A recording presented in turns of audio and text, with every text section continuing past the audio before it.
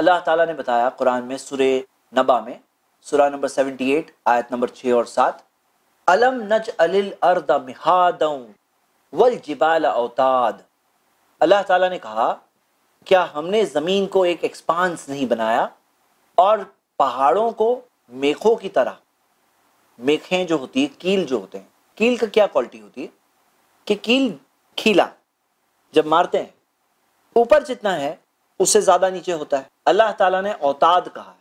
और अल्लाह ताला ने कुरान में सूरतुल अंबिया सूरा 21 आयत नंबर 31 में ये भी कहा वजअलना फिल अर्दी रवासिया अन तमीद अबिहिम कि हमने ज़मीन पर पहाड़ों को डाला ताकि ज़मीन उनके साथ ना हिले।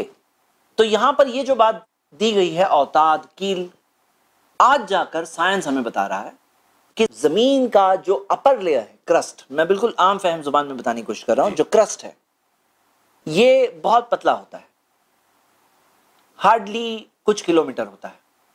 जो ओशंस होते हैं ओशंस समंदरों के नीचे पाँच किलोमीटर होता है। और जहाँ कॉन्टिनेंट्स होते हैं, वहाँ तकरीबन 35 किलोमीटर तक जाता है।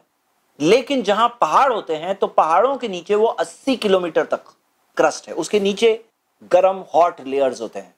ज़मीन के हॉट लेयर्स जिसके ऊपर इंसान नहीं रह सकता। अब ये जो बात दी गई है कि अल्लाह ताला ने पहाड़ों को कील की तरह बनाया और कील की क्वालिटी होती है कि ऊपर कम और ज़्यादा नीचे होता है। जैसे मिसाल के तौर पे सबसे ऊँचे पहाड़ हिमालयास।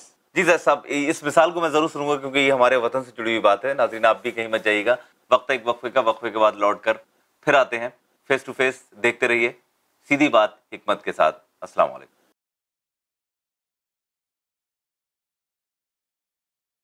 वालेकुम नाजरीन वक्फे के बाद एक बार फिर आपका खैर मकदम है चल रहा है शो फेस टू फेस सीधी बात हिकमत के साथ।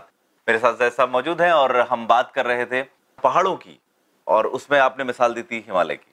जी हिमालयास की सबसे ऊँची चोटी की मिसाल हम ले लेते हैं। माउंट एवरेस्ट माउंट एवरेस्ट जो ज़मीन से सी लेवल से 8.8 किलोमीटर ऊपर है 8.8 किलोमीटर लेकिन पहाड़ों की जो नॉर्मल गहराई ज़मीन के नीचे जैसे कील का क्या मामला है कि ऊपर जितना है उससे बहुत ज़्यादा नीचे होता है। ऊपर को तो हम देख रहे हैं पहाड़ खड़ा है।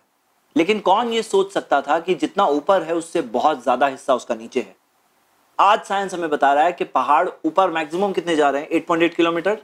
लेकिन नीचे ऑन एन एवरेज 80 किलोमीटर है। 80 किलोमीटर यानी 80 किलोमीटर नीचे तक जाएँगे तो पहाड़ वहाँ तक जा रहे हैं। ऊपर जितने दिख रहे हैं आठ किलोमीटर मैक्सिमम वो आठ किलोमीटर वाला भी बन गया माउंट एवरेस्ट।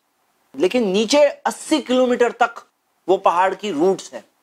तो जैसे कील जो काम करता है, कि कील जब कोई चीज़ पे मार दिया जाए तो वो चीज़ स्टेबल हो जाती है। उसकी वजह से वो जोड़ आ जाता है।